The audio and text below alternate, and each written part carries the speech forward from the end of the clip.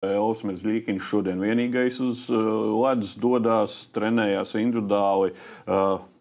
Balcers pievienojas. Kā tu vērtē, cik tieši Mezlīkina faktors aizsargu darbībā un arī, zinām, pārliecību varētu dot arī uzbrucējiem? Nē, nu, milzīga loma tā būs. Tas ir skaidrs, jo nu, vārdsargs jau mēs vien esam redzējuši. Mums arī savulaik tādi piemēri bijuši, cik ļoti gaidīja Artūra Irbas ierašanos bieži vien no otra.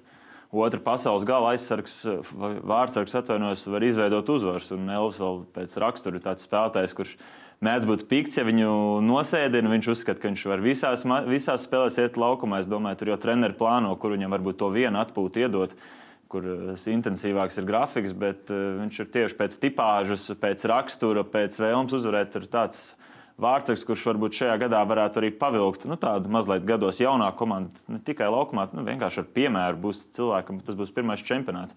Viņš tīri iedos viņam tādu deksmi.